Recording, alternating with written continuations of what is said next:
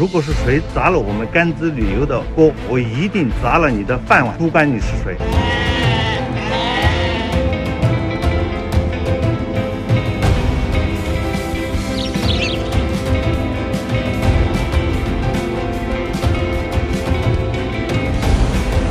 这二三十年来，我们一直在非常注重就是基础设施啊、服务质量的提升。因为我们甘孜很大，有十八个县，我们所有的文旅部门，包括我们的政府，都在做这个服务质量的提升。我们也在做这方面的协调，在积极的申报。啊，把这个基础设施更加完善。我们的每年的黄金周，甘孜州的州委、州政府的主要的领导亲自挂帅在黄金周值班，监察我们的旅游市场，帮我们协调方方面面的单位。来的人太多的话，搭帐篷，或者是给他们把一些学校啊、其他机关的宿舍、招待所，都把它腾出来，尽量满足游客的需求。